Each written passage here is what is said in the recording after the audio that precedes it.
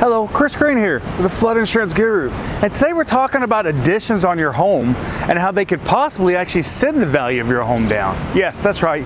We said adding, trying to add value to a home could actually send it down. So what exactly are we talking about? But what we're talking about is flood insurance and flood zones. You know, what happens if this addition puts your house into a high-risk flood zone? It can have a major impact on your property value. So today we're gonna teach you how to avoid that. Whenever you put an addition on your home, let's say your home was built before 1980 or 1978, FEMA considers to be a pre-firm property. To understand the difference between pre-firm and post-firm, check out our video, How Firm Are You? Well, what happens is when this addition is put on the house, Pre-firm structures have different rules when it comes to flood insurance rates. When you add the addition though, let's just say you build the addition in 2016. Now they consider your property to be built in 2016, which means it has different guidelines for flood insurance. It has different rates. These can be significantly higher.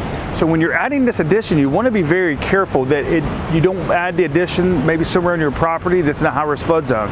So you want to get an elevation certificate done by any surveyor or engineer to just verify that this certain part of the property is not going to put your property into a high-risk flood zone.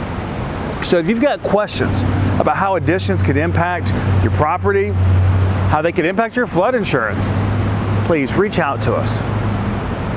205-451-4294. Visit our website, floodinsuranceguru.com and don't forget to subscribe to our YouTube channel, The Flood Insurance Guru, or like our Facebook page, The Flood Insurance Guru, where we do these daily flood education videos.